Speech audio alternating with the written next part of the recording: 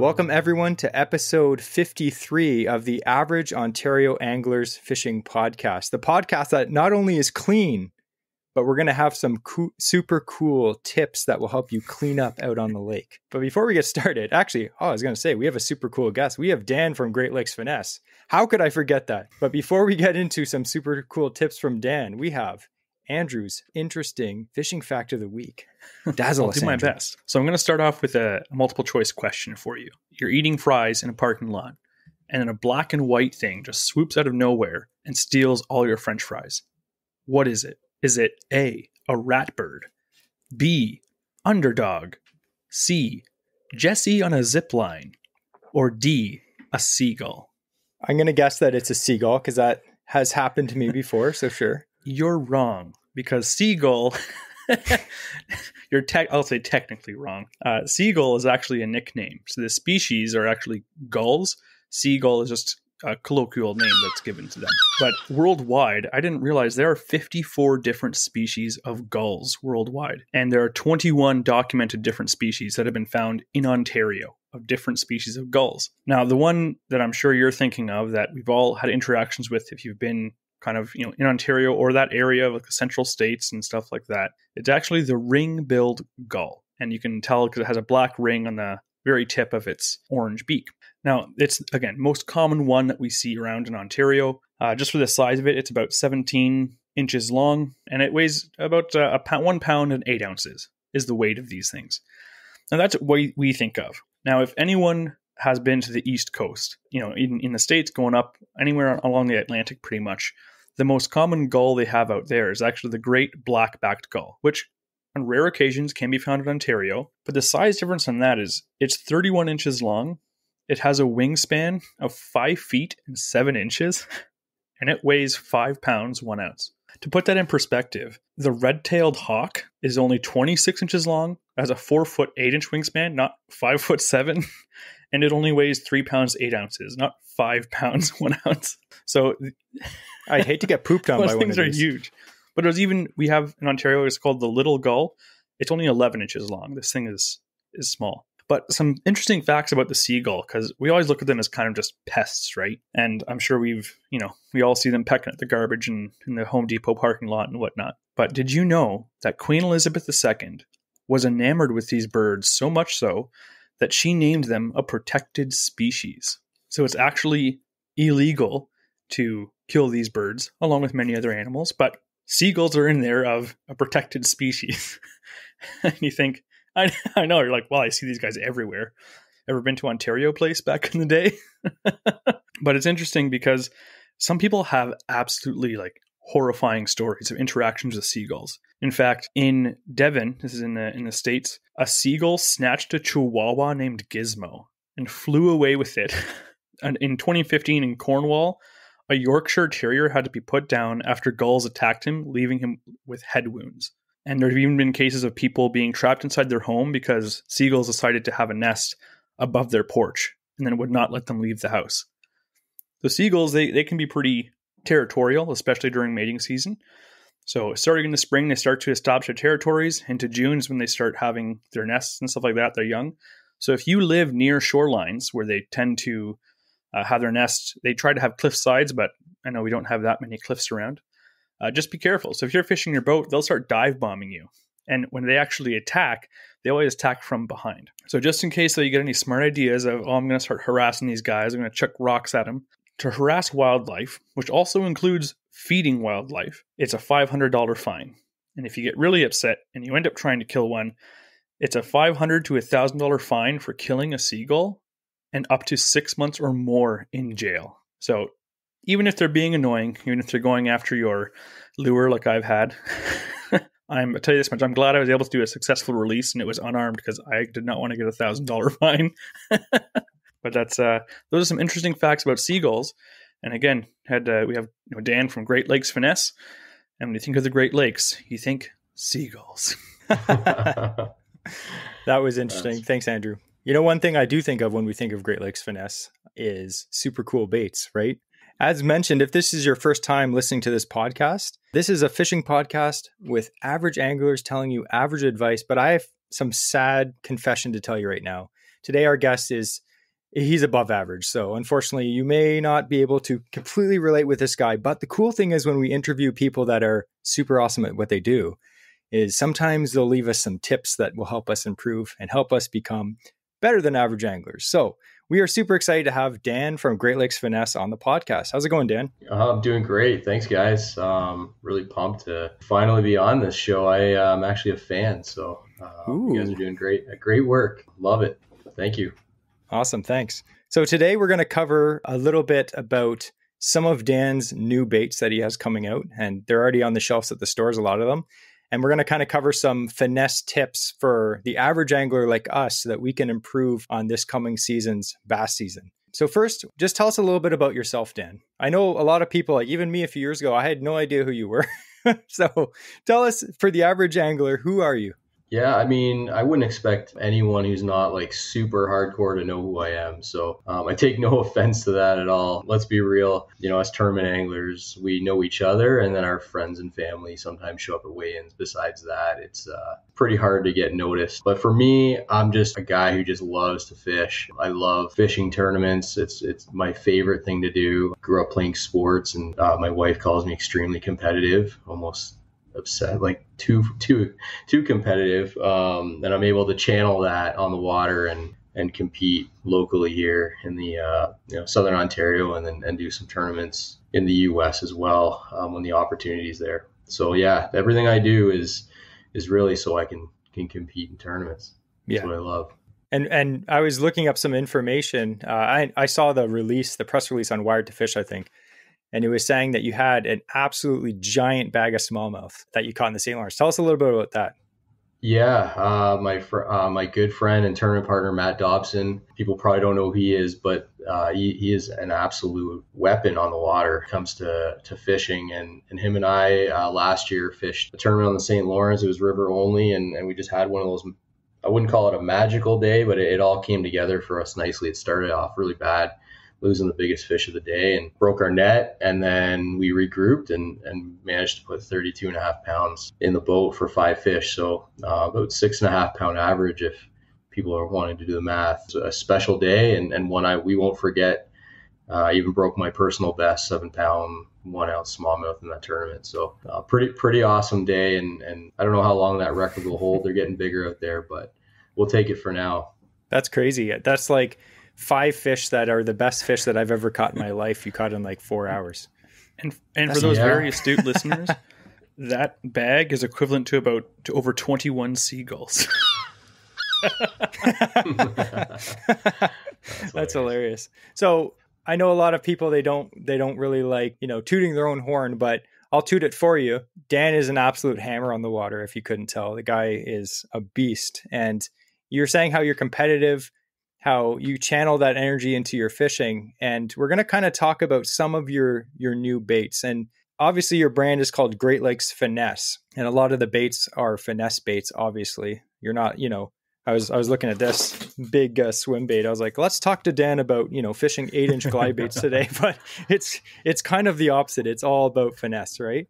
So we're going to talk yeah. about some of your new baits, and then we're going to kind of tie it into how us as the average angler, if you're listening to this and you want to target, you know, all kinds of species of fish, but we're going to kind of talk about smallmouth bass today, how we can learn from some of the tips that Dan gives us. So why don't we talk about some of the new baits that you just released at the Bassmaster Classic? Sure. Um, I mean, the biggest one right now that we're super excited about, we put a lot of effort into is this uh, is this Juvy Craw. So anyone who fishes a tube, this is really a, a modern take on this style of bait. It's it's really a bait category that hasn't been all that exciting in oh gosh, it's got to be you know 10 15 years. You know we're all just dragging the same three two and a half inch baits to four up to four inches at times.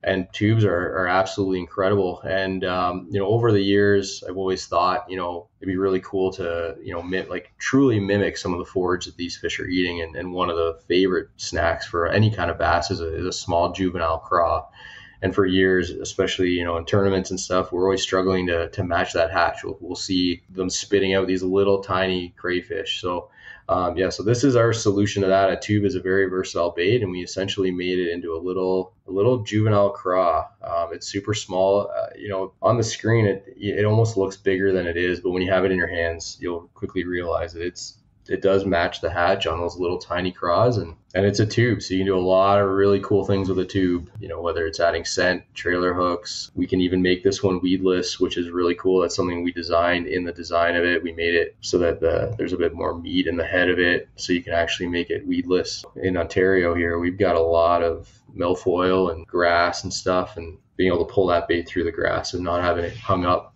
definitely helps get more bites. So yeah so that's like that bait has been an absolute. I mean, we knew when we developed it that it was going to be a really awesome bait, but anglers have just shocked and quite frankly shocked us at how much they want this bait. All the dealers and retailers are are selling out of them, and I think it's just people understand it. They really, you know, they know what a tube is, and they and now they're seeing something that's a modern take and you know a company that's actually trying to do something creative with that bait category. So that's that's our like hero product. I think that's going to be really hard to beat in the coming years in terms of acceptance and popularity. But one that really flies under the radar is um, is our small little. Uh, it's called the juicy hellgrammite. Hellgrammites are actually everywhere. They're especially in the creeks, but they're everywhere, especially up here in the north. And bass love them. Walleye love them. Everything panfish love them. The hellgrammite has been a bait style that we've kept secret for a long time and won a lot of money in tournaments on and just hasn't been talked about. And we, we always keep an eye on this bait category, but you know, for us, there wasn't really a bait that we really truly love. There's just very limited selection. And for us, we wanted one that was just a little bit smaller, more finessey. And the biggest things with, with this bait is you can't really see it here, but there's actually a, a matte finish to it. So we eliminate the glare in all our baits and that's a, a, tournament secret. We used to rub all of our baits in the carpet of our boat before a tournament to knock the shine off that's in the manufacturing. So we figured out how to do that in our manufacturing. So if anyone sees our baits, they're actually getting a matte finish on everything. So that's like a tournament secret right out of the bag that people don't even realize.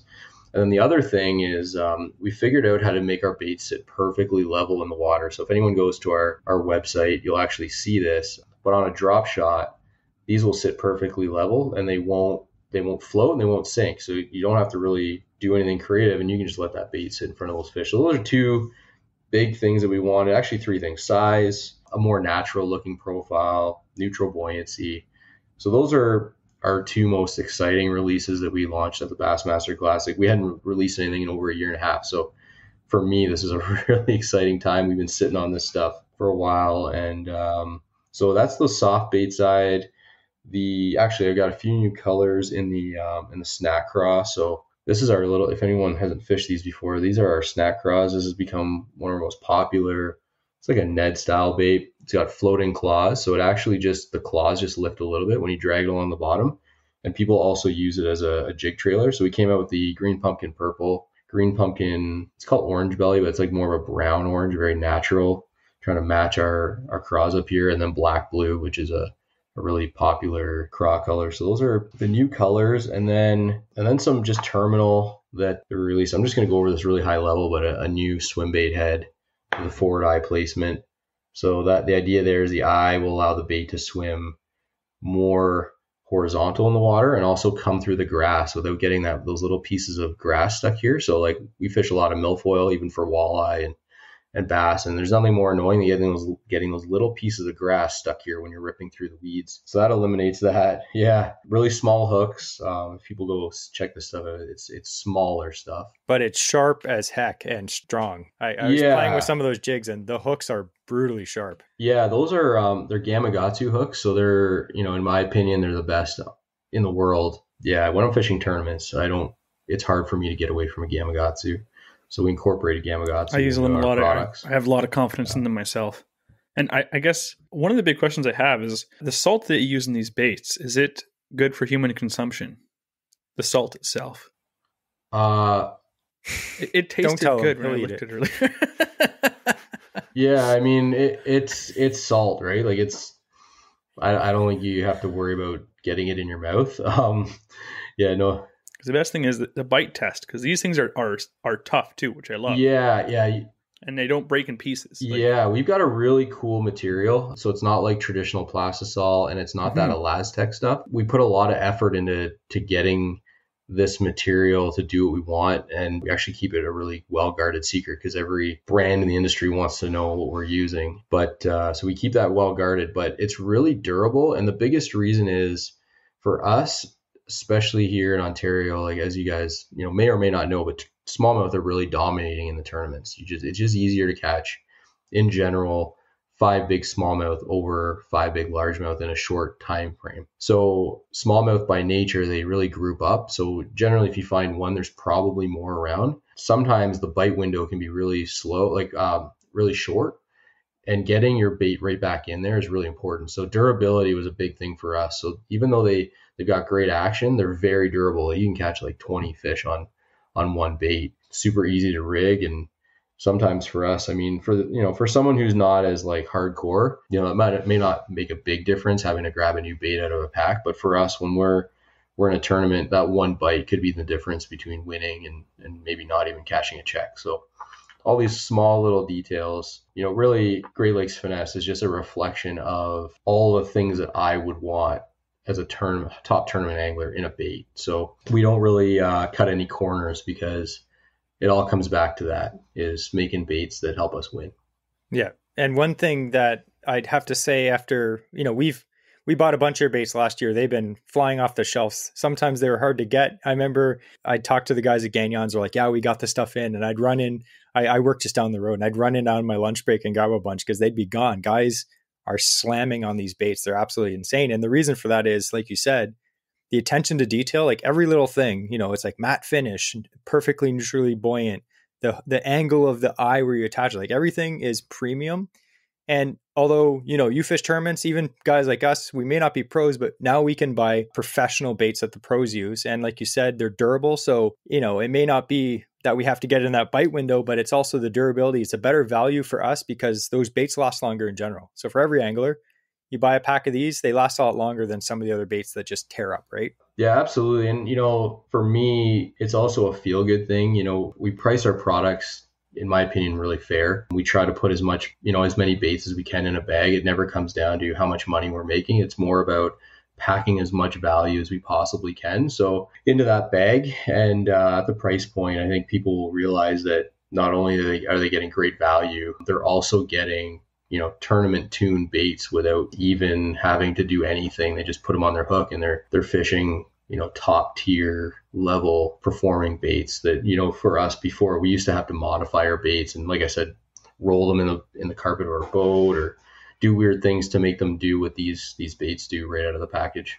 Definitely. So, kind of getting into the background, the first point I was going to say, like, talk about the inception of the bait. You kind of already covered that. It's getting these baits that you wanted to succeed in tournaments and being like, I need to do a bait that's like this and like this. But the next part point I was going to ask you is like, what differentiates your brand compared to other finesse brands on the market? Yeah, I think I think uh, the term finesse is thrown around quite loosely in the industry. And, you know, I, I would say we are the only brand that's truly focused on the, the true finesse category. Um, a lot of brands will make a small version of a popular bait or whatever and call it finesse. For us, finesse is something that we've we've really developed and honed in on over the last 10 to 15 years. Your audience may or may not know, but just locally here in Southern Ontario, we've got three guys who are fishing on the Elite Series and another one who lives in Pickering, Evan Kung, who is leading the opens and, and is I don't want to jinx anything, but if all, you know, if, if things continue the way they are, you know, we're going to have four anglers locally fishing at the highest level. So, for, so what that means for us here locally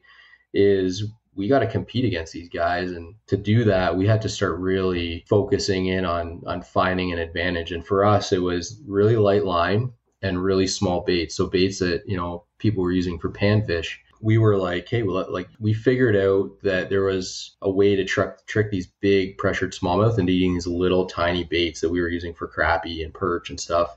Um, but the problem with those is that they would just when we first figured this out, they were all our baits were falling apart and our our hooks were cheap and you know we were losing a lot of fish so it, for us it we we wanted to set like when we were figuring all this out we started making tackle for ourselves and keeping it a secret pouring our own baits making our own jig heads anything that would give us an advantage to compete at the highest level which we are just by nature of the anglers who are competing here against us. Ended up winning a lot of money and kept it a big secret. And then uh, about two and a half years ago, three years ago now, I had triplets. You know, for me, I always thought about making a making a, an attempt to to compete down south and, and maybe try to be on the elite series but when you have three kids at once um, that dream no i wouldn't say it disappeared it just it, it didn't really make sense anymore. And you know i think the next best thing is kind of giving up some of these secrets and and allowing people to experience the success we've had over the last you know 10 years winning you know a bunch of tournaments and whatever it may be and just really exposing this true finesse style. And, and when i say finesse i mean like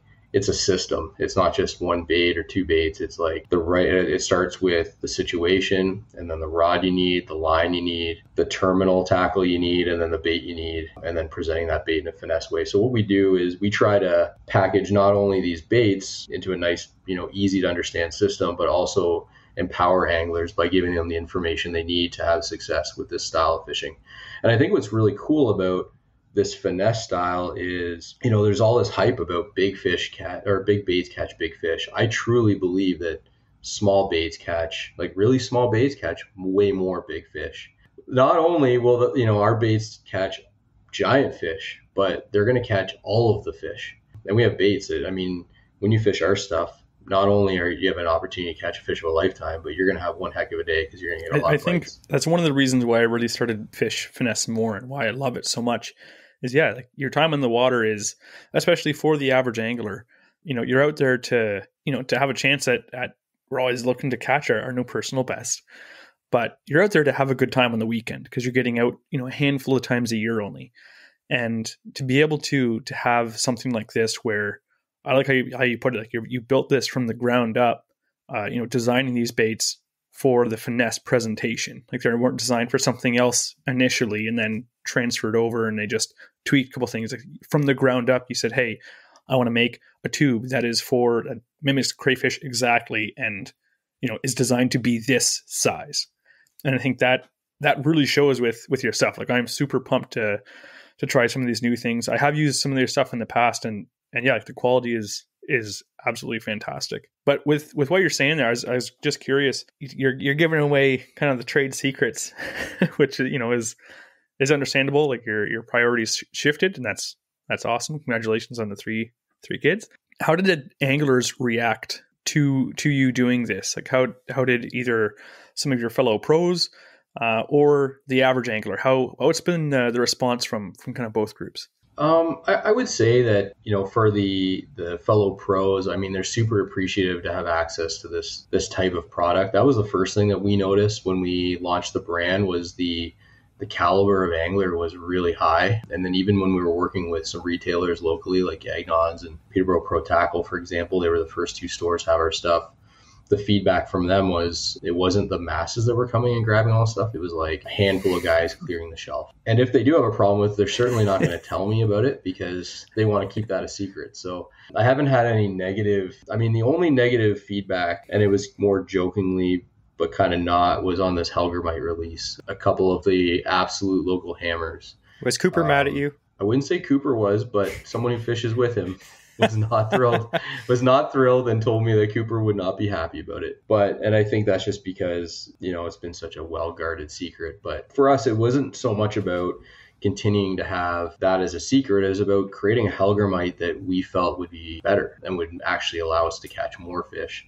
So I think, you know, like the pro angler level guys, what really separates them is not just the baits, it's it's really everything, their decision making, time on the water, composure, all those things. Uh, the bait is just a small piece of the piece of the puzzle. So really the feedback has been overwhelmingly positive and I think a lot of them are just so thrilled and they, we get messages almost every day saying, "Man, I broke my personal best on this bait or that bait." And for me, and I know this sounds crazy, but I've won uh, several, like a lot of tournaments. If I never won another one again, and instead I got all of these messages about people having success on our products, that would make me way more happy it was almost uncomfortable in the beginning for me to give up a lot of these secrets, especially in the baits and how we're fishing them. Like people probably still think like maybe we're faking it when it comes to our social media content, but it's not. Like we're literally giving up the juice. Like whatever you see there is real and it's not like we're not staging anything. It's like if that fish was brought to the boat. Like that that bait caught it, and that's how we caught it. And, you know, and I, we just love helping people, and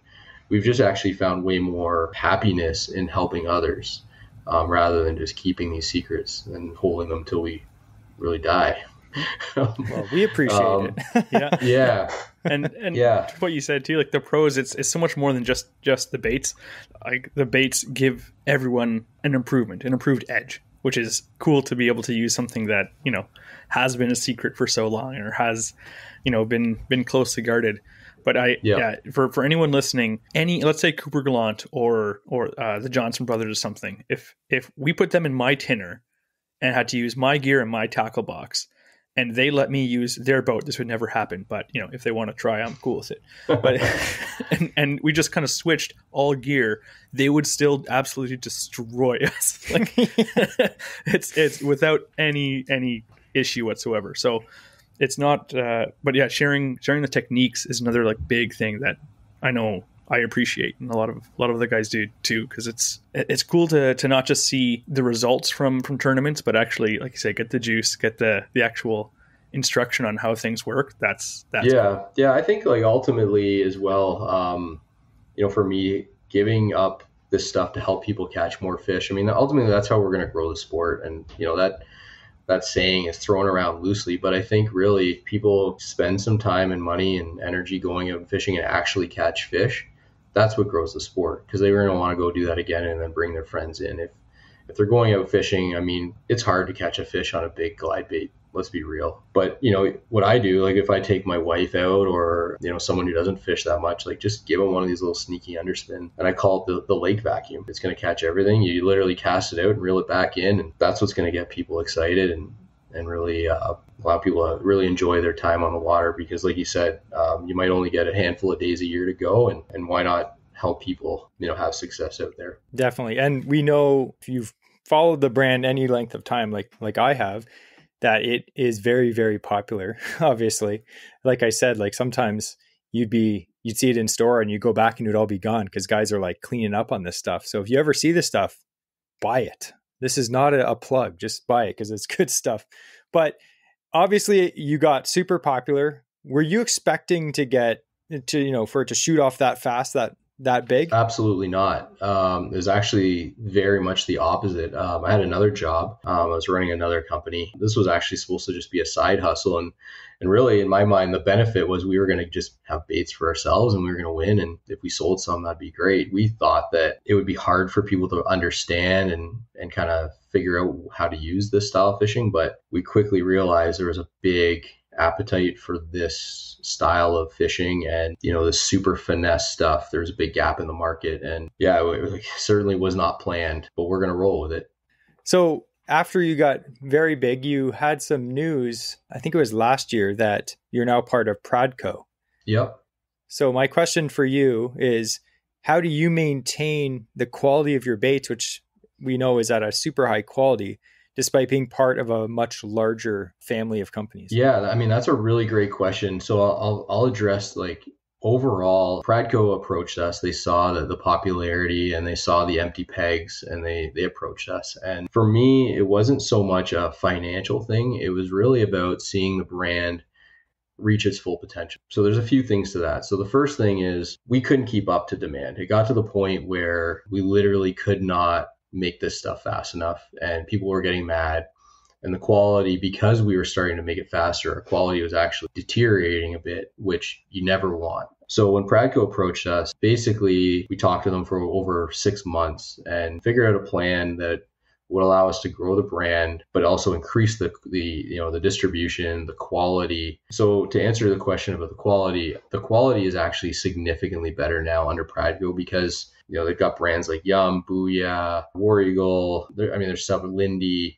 And so they, they're really experienced and have the capability to produce high volume of product, a high volume of product. So quality has actually gone up. I would say 20 to 30% just from moving over to their abilities and their their factories. Everything about the product is actually the same. Like we haven't changed anything. The only thing that we changed was there was a few products we couldn't actually get Gamakatsu hooks, but when Pradco called Gamakatsu, that changes. So uh, we now had access. We had now have access to literally the best of the best, and those vendors pick up the phone when when Pradco calls, which is great.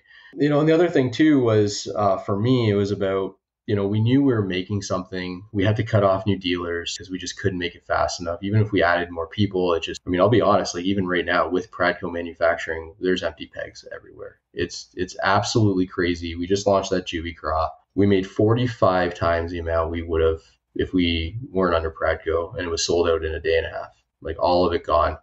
And we're running that stuff we were now Pradco is now running seven days a week and overtime shifts for anyone who wants to make baits in their factories. So it's just been absolutely crazy.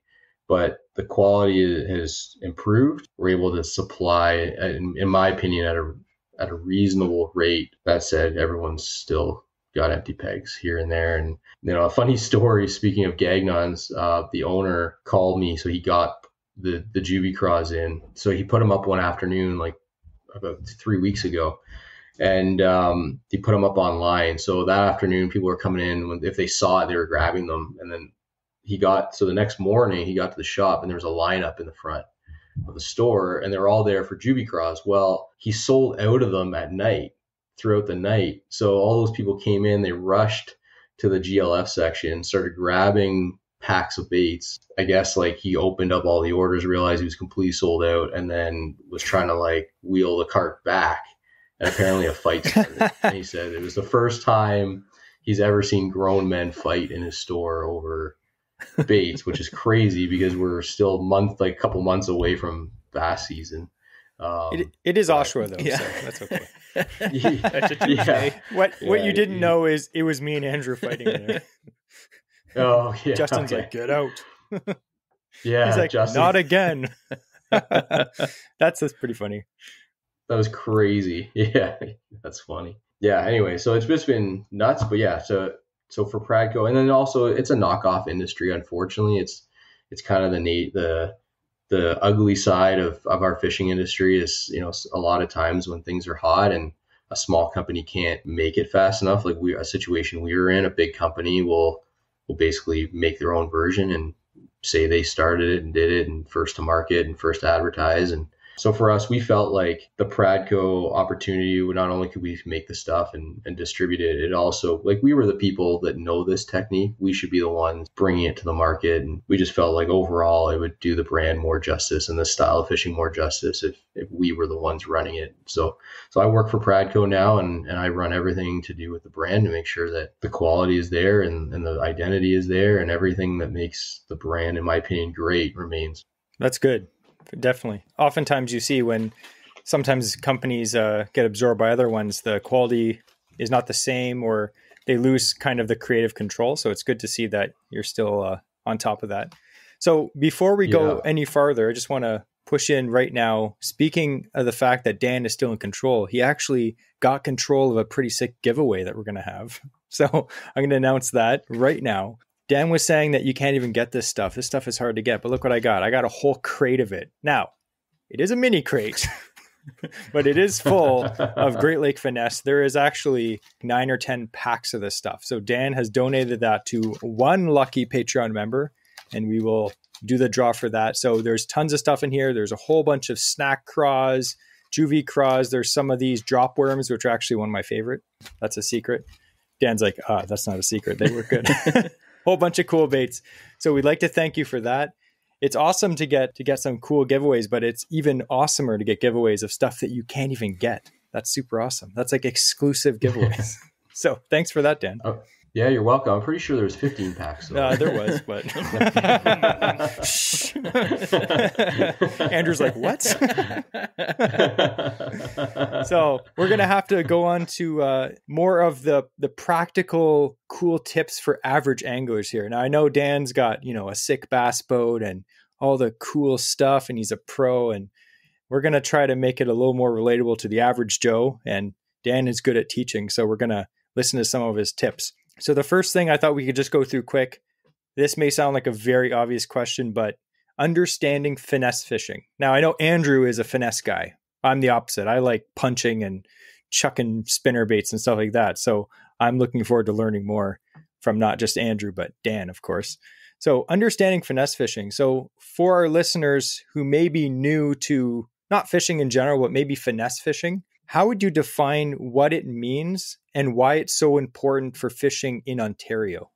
Uh, yeah, I mean, you know, in Ontario, our lakes, especially the Kawartha lakes and stuff, get a lot of pressure. So, in my opinion, like finesse fishing is trying to present something very naturally, something that's not intimidating to a fish and something that's easy for them to eat. So, I mean, that's really it's important because if you're always going for like a big bait or a big reaction strike, oftentimes, you know, whether it's weather or it could be pressure, it could be anything, those fish just might not react positively to that. Whereas I find a finesse presentation, for the most part, is pretty much effective any day of the year. And you can go out and catch fish anytime with light line and small little natural baits. I notice, like, especially saying again that I, I like power fishing, all that stuff. Andrew has handed my butt to me many days with his BFS combo. Remember that little what's that little lure called? The, the Piku, Piku Piku. Yeah, it's like a wacky yeah. rigged hard bait topwater. Oh, it's insane. Yep. They'll go out and catch like a five pound smallie in the Kawarthas on this tiny little bait on a little like light action bait casting rod.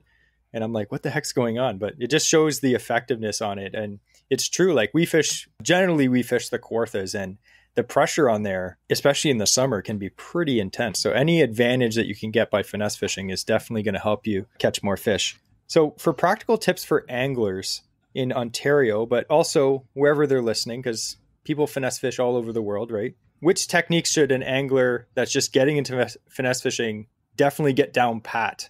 Yeah, so the two that I would say are the biggest are drop shot, 100%. Drop shot is where you've got a weight below your hook and your bait is, is presented above the bottom. And you can rig several baits on there whether it's our drop minnow or our hellgrammite yeah that thing is absolutely deadly on a drop shot. Um, see andrew there.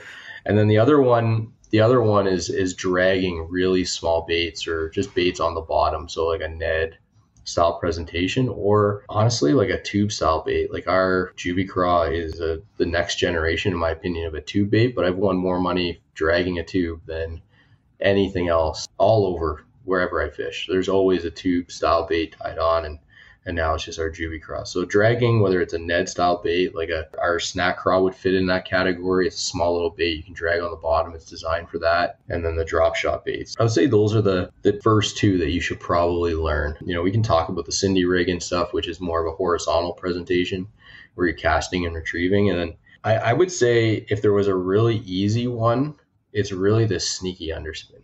This is one that I was talking about earlier, and I, these are kind of the two colors that I always throw. If I was to only, if you were to say, hey, you can only fish one bait for the rest of your life, no matter where you go, and you have no idea what's in that lake, this is what I'm throwing. Like I call it the lake vacuum. Anywhere I go, if I'll, I'll use an example. I've got a cottage in Quebec. I was checking out some back lakes. I had no idea what was in that lake, so I threw. I this is what I throw. I throw a little sneaky underspin. Within three casts, I have two brook trout. That's just everything eats it. All you do is cast it out and reel it straight back. That's it. It's so easy. It's just our sneaky underspin paired with our little drop minnow, and you can also throw a little swim bait on the back. But I, I think our little drop minnow is super finessey, and it'll get you bites, especially walleye. If you're a walleye angler, this is something like this is like my number one walleye bait anywhere I go. Just cast it along a weed line or up shallow along some sand or wherever that you think they're hanging out. This sneaky underspin is absolutely deadly, and it's very hard to throw it for a day and not catch a pile of fish. Yeah. We actually picked up a bunch yeah. last year when we could find some. I remember seeing them at Gagnon's too, and I, I ran in and grabbed a whole bunch because I was looking for a specific yeah. color, and they absolutely slaughter fish. Like they're they're really mm-hmm. good, and the hook is super sharp. It's one of those baits I just have confidence. I know when I throw it, you just like you're just waiting for a bite. You know it's going to happen. It's not like oh, I wonder if this bait works. You look at it, you're like, even if you've never used it before, you're like, oh, that's fishy. You know, just an absolute beast of a lure. So, yeah, so yeah. there's tons of different finesse techniques. And like you said, fishing in general, it's it's adapting to this finesse approach. And you see if you follow, you know, the Bassmaster or like any of the professional tournaments, you're seeing all these new rigs coming out. People fishing different ways, like you know, like hover strolling and all this all this different stuff that's coming out. But when it comes down to it, the one thing I do like about your brand is it's all the stuff you make, it's just super natural looking. It's not stuff that's too crazy. Like you see all these like, you know, G crack balls with all the fur coming out, like, oh, that's cool, but doesn't look like anything. I'm sure it catches fish, but all this stuff, it just looks like timeless. Like you could still be throwing this in 40 years and it would still work great. You know what I mean? Yeah, yeah. I mean that's a, that's a really good point. Um, you know, something that we we committed to when we started the company was, was oftentimes the the flashiest bait isn't the one that gets the most bites. Um, we've definitely found that like the stuff that looks kind of dulled down and maybe not the most attractive when people you walk into a store. It's probably not the one that's going to catch your eyes, but we're we were always committed to let's make baits that catch fish. Let's not worry about catching anglers. A lot of brands, I've worked in this industry for a long time. I work for a major one. The focus is oftentimes how do we get the customer to pick our bait off the shelf?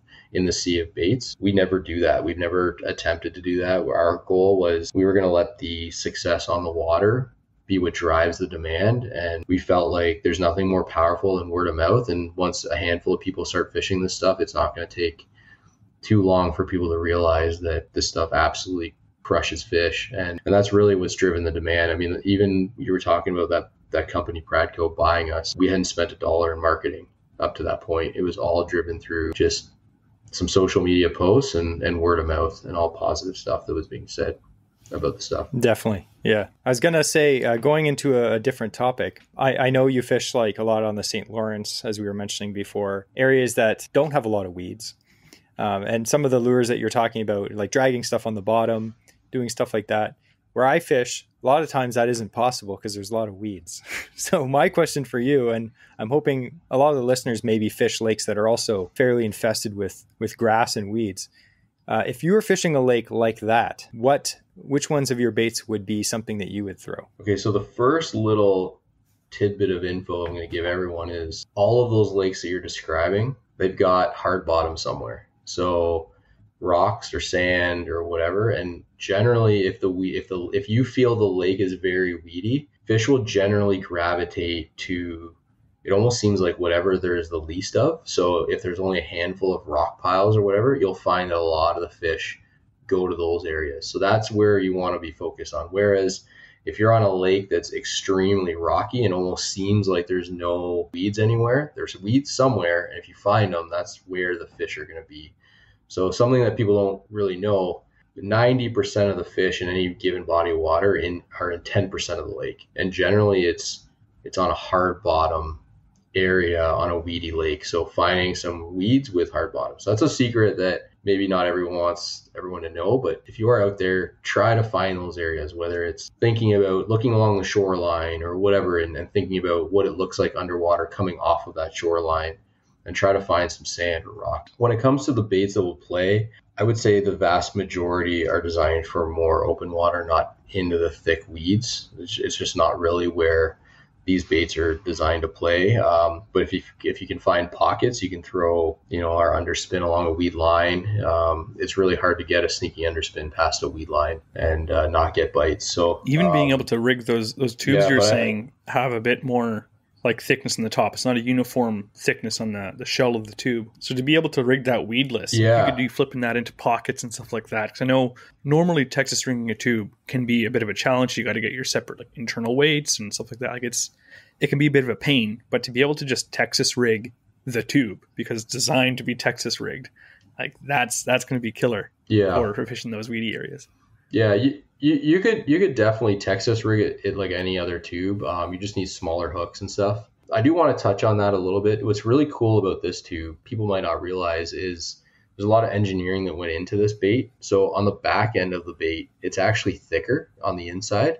So that's so your tube hook doesn't blow out. But then in the middle, it's actually thinner. So on the bottom, especially, and that's so that when a fish bites down on it. So this is like this is one that's that's rigged. When a fish bites down on that, it collapses as much as it possibly can to open that up. So like some of the engineering that went into that, and then it's got floating claws and stuff. But yeah, so you could you could definitely called exposing it. You basically just run the hook into the head hmm. like that, and there's enough meat there to hold, and then you could you could probably throw that around docks or you know pockets that you find on a weedy lake.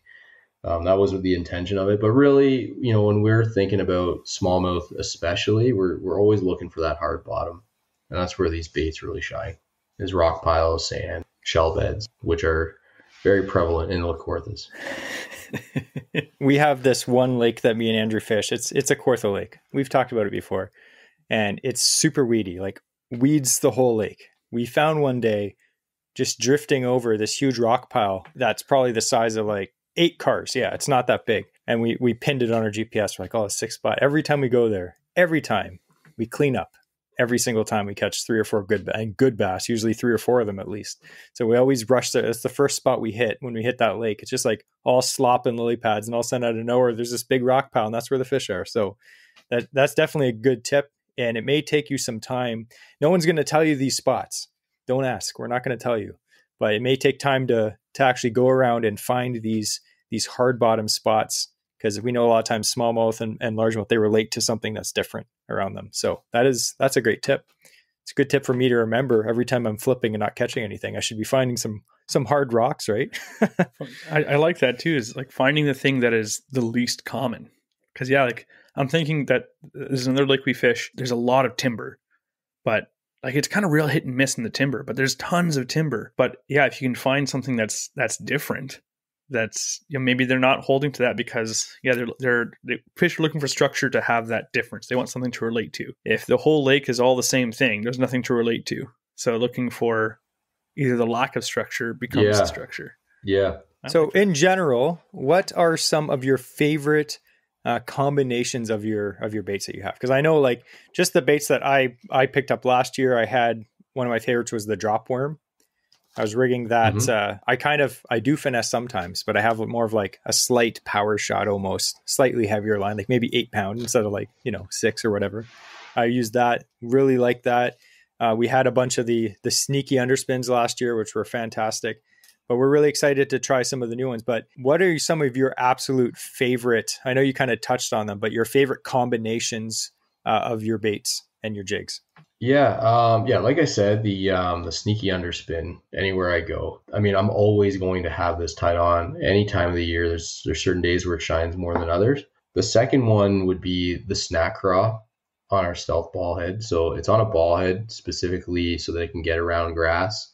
The ball head actually performs better around rock when there's a little bit of grass around. So that's why we prefer the ball head. And all these baits have uh, a powder coat and they're baked so they don't chip, but we also protect the eye. So you don't have to break the the paint when you're tying like line on these or anything. But we've caught more bass over six and seven pounds on this little tiny bait than anything else that we that we've got in our lineup. And then the other one would be our our drop minnow, which is our it's 2.75 inches. This was actually the bait that we used to break that record. For the most part, we, we mixed in the snack craw, but this was the bait that we used, and it's got that true neutral buoyancy.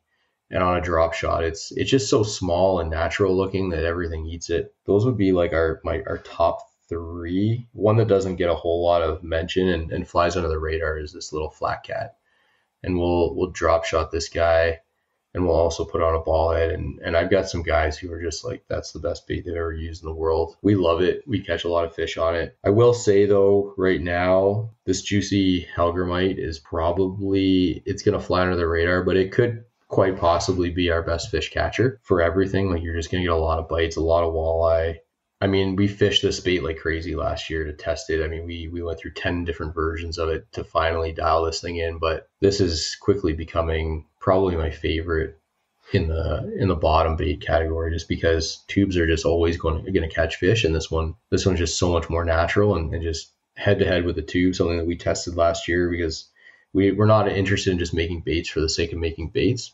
Uh, when we we tested it right beside the same color of tube like this is an example of a tube we would throw with the same jig head that we use. So that it's it uses our same mini pro tube head. Side by side fishing the same hump, same points wherever you're fishing. The Juvy Craw definitely gets more bites. So i think that one's going to quickly become my Mean, that's a loaded question, right? Like everything that we make literally is is stuff that we would have tied on in the biggest tournament of our lives, and they're all situational. So it really depends on the situation and and what we're trying to accomplish. And that's really how all the baits start is we've got a problem. We we don't know we need a bait to for that situation or that you know that specific fish that we're after and and then we come up with an idea like we write down all the things the bait needs to do and then we start designing the actual bait Definitely. Yeah. I was going to say that is kind of a trick question because it's all good stuff. it's like trying to choose your favorite kid of the three. You're like, well, they're Yeah, all good, except for yeah, that. it de- depends on the day. I'll be honest. Um, we, my wife and I have this r- running joke. We are like, "Who is your favorite today?" Because we they're all our favorites. Every day there's one favorite. So I think the final question before we get to, to wrap it up is do you have any advice or words of wisdoms for our listeners who are eager to improve their finesse fishing skills? Yeah, I, I think um, there's a lot of information online about all these finesse styles of fishing. So the internet is your your best friend when it comes to learning about drop shotting or Ned rigging. You can learn so much, and then just committing to it. I mean, the nice thing about the finesse stuff is that it really doesn't take you that long to get confidence in something. So like something like flipping a jig, for example, I found like I've got a lot of confidence in a jig, a flipping jig, but it took me a, lo- a while to really get confidence with that style of bait. You know, a big giant glide bait or something like that's something that just requires a lot of time to get confidence in. But finesse fishing, really just pick the style you want to do, whether it's drop shot, Ned, the underspin, commit to it for you know a certain amount of time and and keep working at it. It really won't take you long to gain a lot of confidence and the only thing that I would say is be careful not to stop once you've discovered the power of one of the finesse styles. Like once you discover how effective drop shotting is, you might get caught in this trap where all you want to do ev- every day is just drop shot. And that's some- something that I see people, they've got this one favorite style of finesse fishing and that's all they'll do. And they don't really expand beyond that. So it's hard to really get into all of it, but in a short amount of time here that we're talking, but yeah, just, just sticking with it and picking a style and, and commit to it. Definitely, yeah. So we'd like to thank Dan again for being on the podcast. Actually, he was like, "Oh, thanks for having me on the podcast." And I'm like, "Are you serious? thanks for coming on our podcast. This is crazy." I told Yeah. you guys good things in the work for 2024, so this is one of them. But we'd like to thank you again too for providing this awesome giveaway. Like you said, there there wasn't actually 15 packs. I wish, but there's a lot of stuff here. This is if I won this, I'd be very happy. There's nine or ten packs of stuff. It's like a hundred dollar value. So we thank you again for that. And again, if you're listening to this and you're wondering how you can enter into all these awesome giveaways that we have multiple times a month, you have to be a Patreon member to be entered automatically into every week's draw. So again, we'd like to thank everyone for writing reviews. I would actually just like to read very quickly. I thought I'd read one of them because every so often when we check our, uh, our analytics for the podcast, all these new reviews pop up. And I'd like to read this one because this one was especially awesome. So this guy named J Hop, it's a cool name. It's like J-Hop. IHOP, but one better. Yeah. So he says, rename the show to Awesome Ontario Anglers.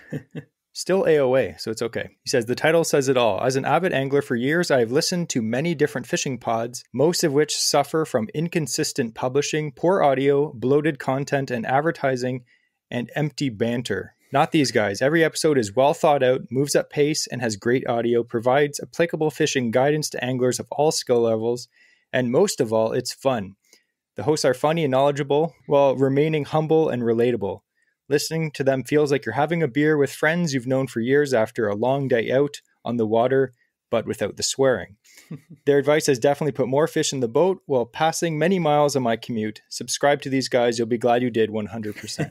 so we'd like to thank J Hop for that. And again, please write us a review. It helps us do better in the podcast charts, which helps us get awesome sponsors like Great Lake Finesse for our giveaways, which is totally awesome. So before we finish this podcast, we have a tradition that we make all the guests do. We have on the spot the quote of the week. And to handle that is going to be Dan. Yeah, so I thought about this, and, and one that I learned really early on is never leave fish for fish. Whether it's whether you're on the water or you're in a tournament or whatever, you know, even if the bite slows and you know there's fish around, I've been I've been burned way too many times thinking grass is greener somewhere else, and then you know live to regret leaving that pot of fish that I was on. So that's kind of uh, something that I live by now is is if you're on fish, spend the time figuring them out. Yeah, never leave fish for fish.